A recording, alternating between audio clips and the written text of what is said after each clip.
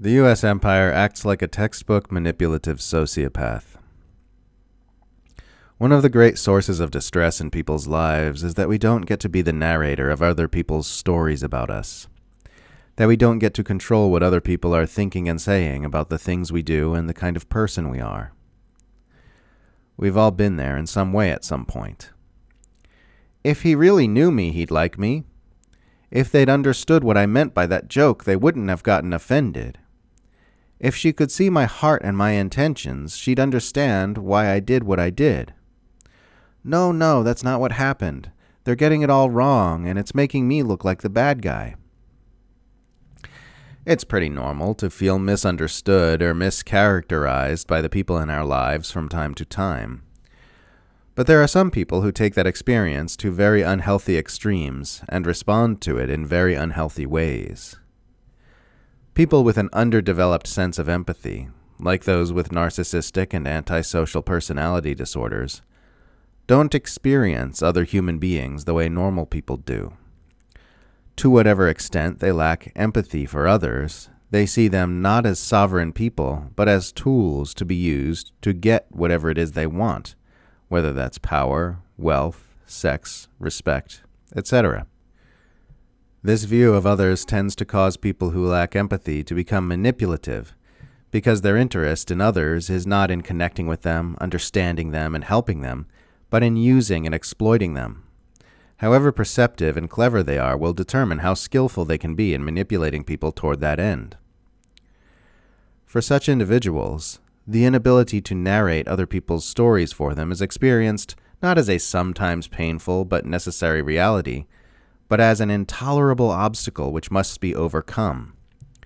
Finding ways to manipulate the thoughts people think in their minds about the manipulator, about themselves, and about others takes on a central role in their lives.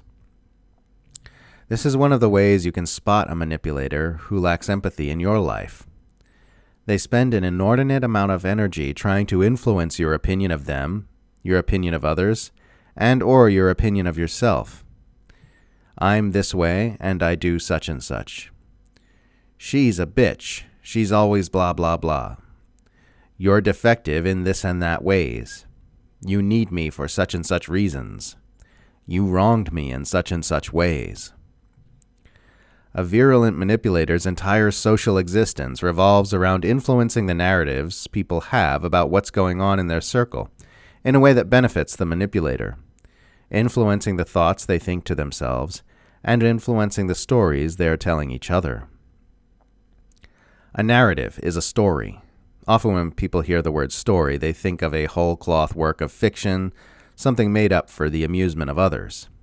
But the overwhelming majority of the stories we experience are about our own lives and the lives of others, both in our own heads and in our conversations with people.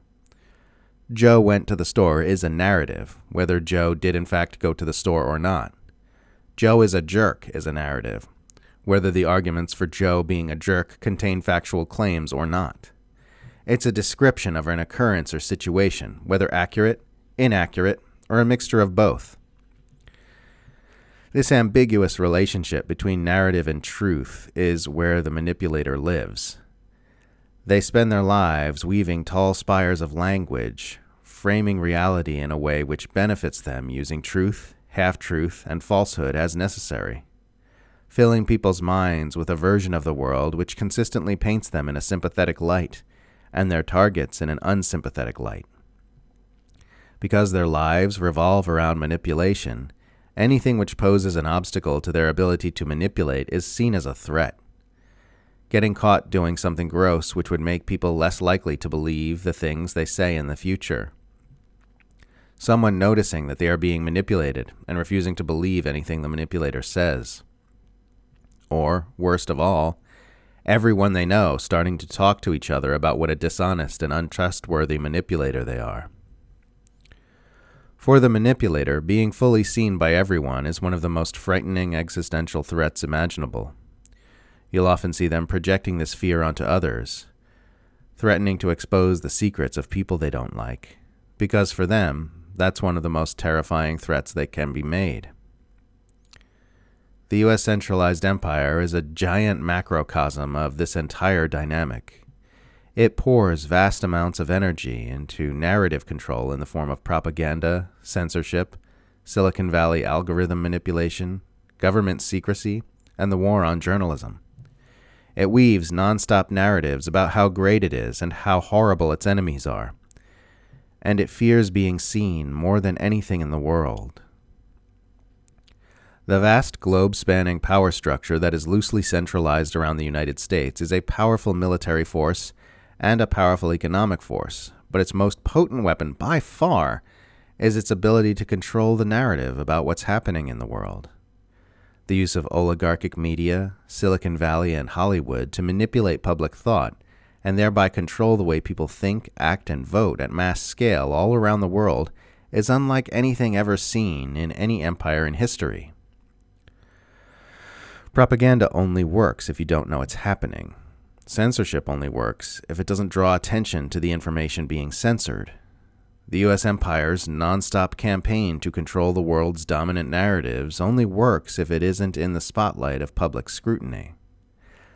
This is why those who draw attention to these things are smeared, demonized, censored, marginalized, imprisoned, and worse by the managers of empire. Manipulators hate to be seen, but if you ever find yourself in a relationship with one, your ability to escape depends upon your seeing them. This extreme clash of interests often brings up white hot rage in the manipulator, which can be frightening and dangerous. And I think humanity is entering that stage of the relationship with the US empire a manipulator who's just beginning to be seen by a few more pairs of eyes than it would like, causing flickerings of panic to begin to surface. Because once those eyes see what's hidden underneath the veil of narrative manipulation, they don't often look away.